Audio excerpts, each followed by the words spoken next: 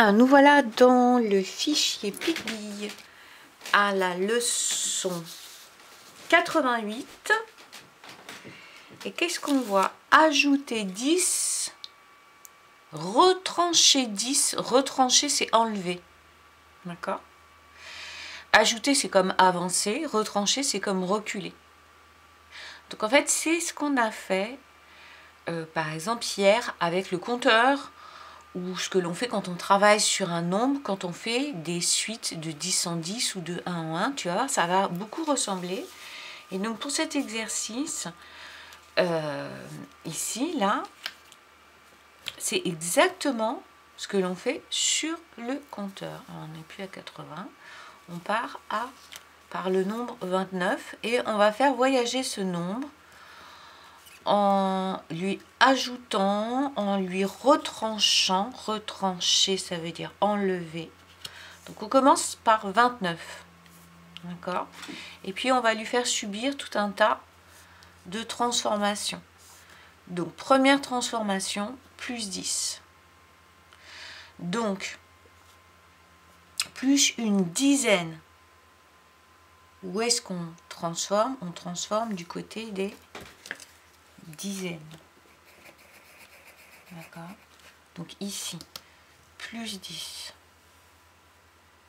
29 plus 10.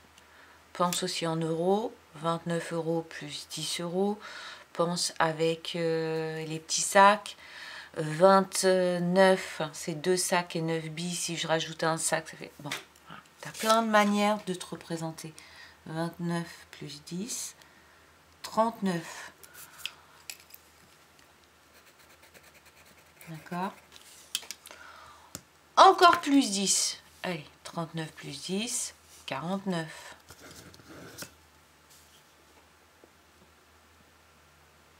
Là aussi, ce qu'on a changé, c'est la dizaine. On a ajouté 10, donc on a changé le nombre de dizaines.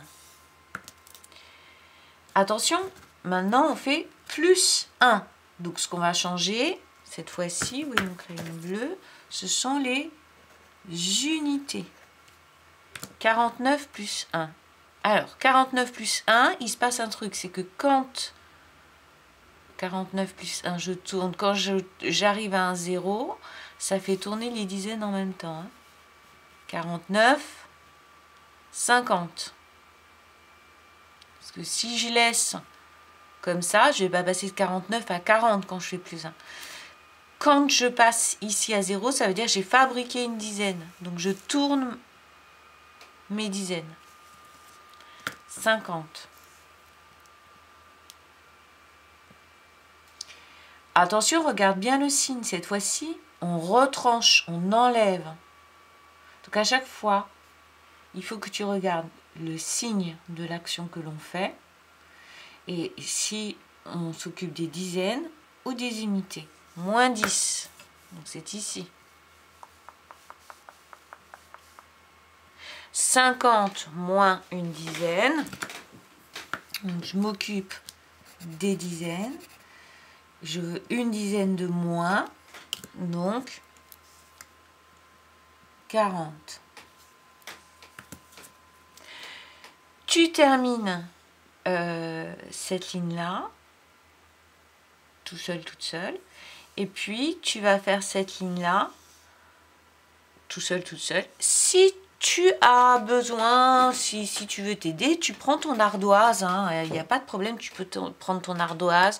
Tu peux prendre euh, ta fusée aussi. Euh. alors, le prochain nombre, il va commencer par 71. Il fait moins 10, moins une dizaine, moins une dizaine, moins une unité, plus 10.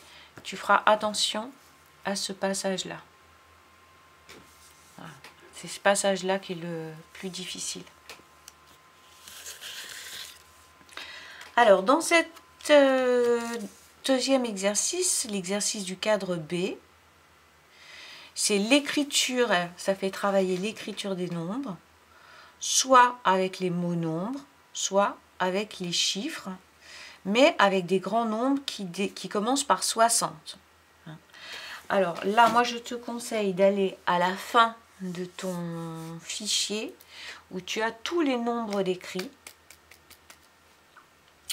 Parce qu'au début, on a le droit de recopier avant de savoir faire parfaitement.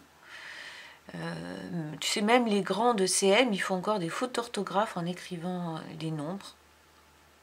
Donc toi, tu vas commencer par les recopier dans le fichier. Je n'ai plus de fichier, donc je ne peux pas te montrer la page. Parce que moi, j'ai, tu vois, j'ai découpé mon fichier.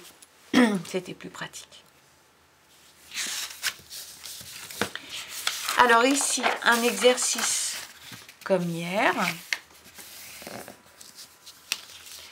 On a un nombre de départ et on lui ajoute des dizaines. Donc, ce nombre, il est constitué de dizaines et d'unités. Et on lui ajoute un nombre qui est un nombre de dizaines. Et les unités, à chaque fois, tu verras, c'est zéro. Donc, ça ne changera jamais. Quand on va les rassembler, bah, le nombre d'unités toutes seules, qui est ici, 6 unités toutes seules, restera 6 unités toutes seules. 7 unités et 0 unités, ça restera 7. 8 unités et 0 unités, ça restera 8 unités. 2 unités et 0 unités, ça restera 2. 8 et 0, ça restera 8. Tu vois, j'ai mis la couleur bleue de la fusée. Parce que quand tu fais la fusée, c'est ce que tu fais. Tu rassembles. tu calcules d'abord les unités, puis les dizaines. Donc ensuite. Mais alors là, tu risques pas de fabriquer de dizaines en plus. Hein. Tu sais, quand on fait la fusée, ce qui est compliqué, c'est que des fois, on rajoute, on fabrique une dizaine en rassemblant les unités. Là, ça risque pas, on, n'ajoute que des dizaines. Donc, on a dit 5 et 0, ben, ça restera 5. 1 et 3, 4 quand tu as compris, ça va assez vite.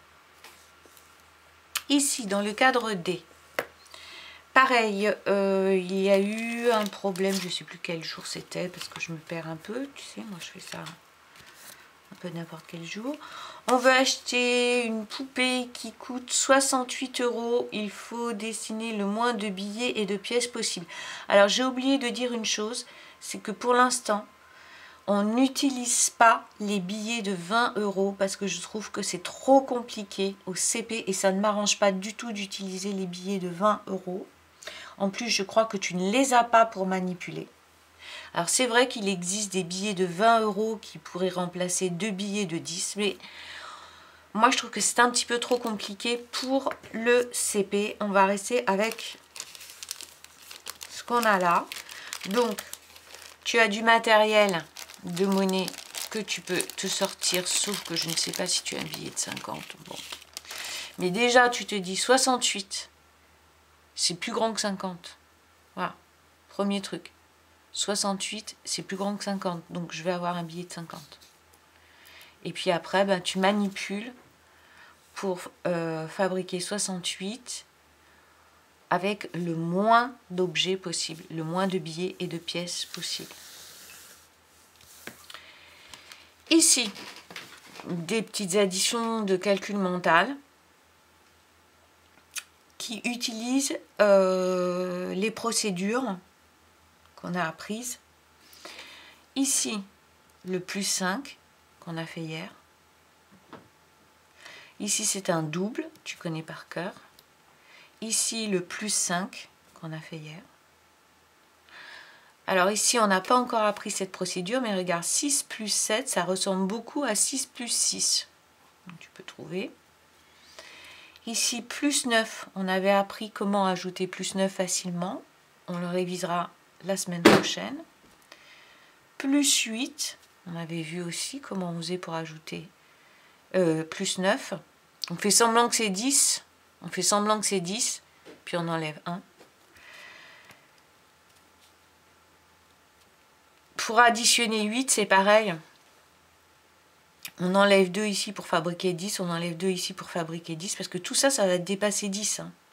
Tous ces résultats, ils vont dépasser 10. Donc là, tu as un double que tu connais par cœur. Là, tu as un presque double.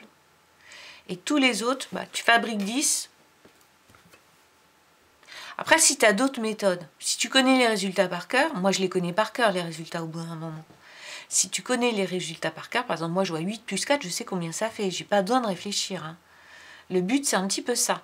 C'est de mettre dans ta mémoire, dans ta tête, tous ces résultats par cœur. Le but, c'est d'aller de plus en plus vite. Comme tu as appris les sons en lecture, et eh bien là, tu apprends euh, des résultats d'addition par cœur. Voilà